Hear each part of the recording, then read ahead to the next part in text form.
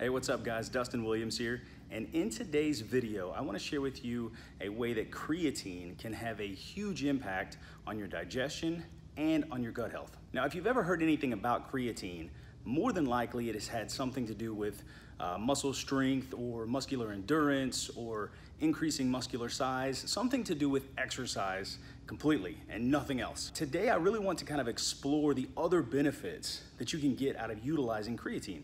Now, don't get me wrong, it definitely has all of those benefits when it comes to exercise and strength and endurance, but it also has multiple other benefits. And the two that I wanna focus on today is, of course, gut health and overall better digestion.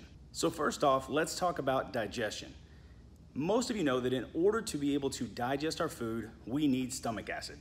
Stomach acid isn't just naturally in our stomach. The acid has to be pumped into the stomach, right? It has to be moved into the stomach. Creatine is something that is very important in the role in actually getting the stomach acid into the stomach so that it can properly digest food. And if we have any type of issues whenever it comes to being able to digest food properly or having any undigested food, then the undigested food can end up sitting in the stomach and it causes a lot of bacteria buildup.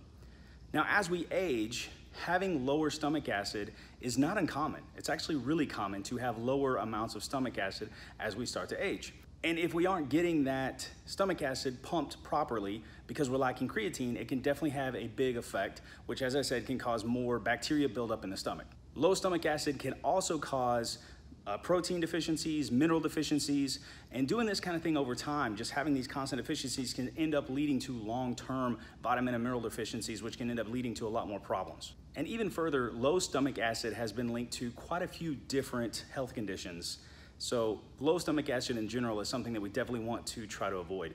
Now increasing overall stomach acid is a different topic, but one way that creatine can help assist in that is by pumping the stomach acid into the stomach. It's a very important part of it. So a lack of creatine can play into this. So one of the big ways that creatine aids in digestion. The second big thing that creatine can have an impact on is our small intestine, and it can really play into the overall absorption of nutrients. One of the things that I talk with about my clients on a regular basis when they're asking me about food or supplements or vitamins and minerals is that just because you eat something, just because you take a supplement or you eat a food or you take something that contains a vitamin and mineral, doesn't mean that you get to use it.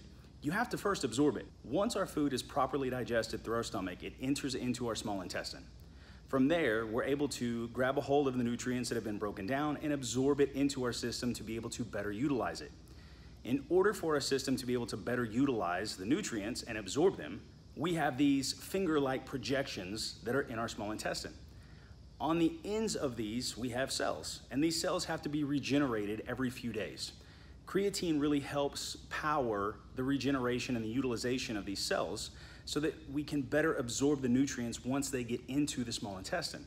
So a lack of creatine could potentially mean that these finger-like projections aren't able to absorb the nutrients as well as they should be, which can lead again to more vitamin, mineral, overall different types of deficiencies that you can get over longer periods of time. One thing I am really interested to know is how many of you guys have actually used creatine before?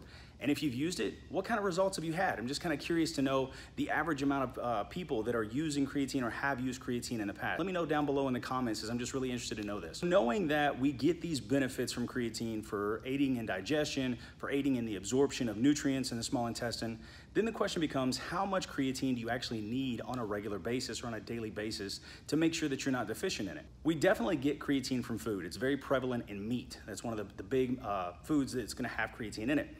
That being said, we really need to have, on average, depending upon the individual, somewhere between one and two pounds of meat per day in order to get all the creatine that we may potentially need for all of its function. I don't know too many people that are eating between one and two pounds of meat per day. I know that there's a few of them out there, uh, but I know that that's a really high amount of meat. And it, for general population, for the majority of the people that I work with, I usually don't recommend that much meat anyway.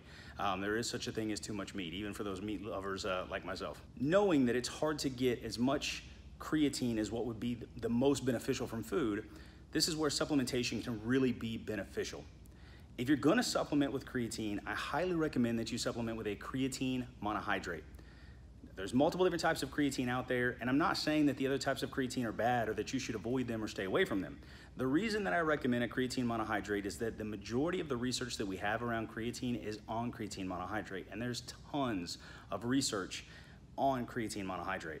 That's why I recommend that one over some of the other ones. Now, you may have heard me say before that not all supplements are created equal. It's very important that you get the right one. If you're gonna take something, you're gonna put it in your body on a daily basis or on a semi regular basis, you wanna make sure that it doesn't have any additives, it doesn't have any fillers, it doesn't have any of the extra junk that's in there. So, you wanna make sure that you get a good quality creatine monohydrate without all the extra junk in it. As far as dosage, my typical recommendation for my clients is anywhere between three and five grams of creatine monohydrate per day.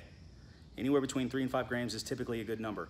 The great thing about creatine is if you get it in the powder form, it's basically tasteless. You can mix it into a drink, into a protein shake. Uh, I mix it a lot of times in my orange juice in the morning. Can't even tell that it's in there, can't taste it. It mixes in really well. Makes it very, very easy for you to utilize and take creatine without really noticing it. I will put my personal recommendation to the brand of creatine monohydrate that I recommend. I'll put it down in the description below. You can click the link. It'll take you directly over to it on Amazon if you wanted to try to purchase it from there. If you found this video helpful at all, don't forget to smash that like button. And also don't forget to subscribe to my YouTube channel so that you make sure that you don't miss out on any more of these super informative videos that I'm putting out for you.